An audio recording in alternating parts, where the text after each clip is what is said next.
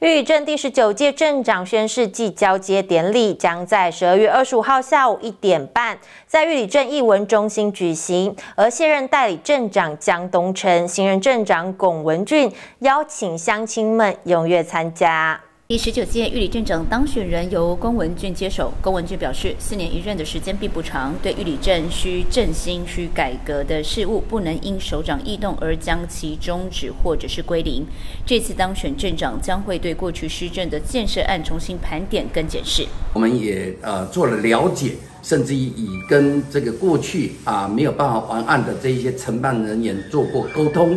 那么啊，也实际上现在已经在啊找寻如何来协助他们在合法、合情、合理的情况之下来啊，让这个案子能够顺利来完成。对于累积旧案，必专人专责，让各项的建设赶上进度，顺利结案，使能重获上级信赖，争取后续建设经费，重返玉里竞争力跟荣耀。当时呃在竞选期间所说的，那么呃希望未来能够找寻法律的这一些呃法律的这一些人员，以及就是说啊对一些这一些工程案啊比较专精的人员，如何来辅导他们以及。做他们的一个法律的一些咨询。玉里镇第十九届镇长宣誓市交接典礼，十二月二十五号下午一点半将在玉里镇艺文中心举行。现任代理镇长江东城、新任镇长龚文俊，敬请邀请民众一起来参加。记者高双双玉镇采访报道。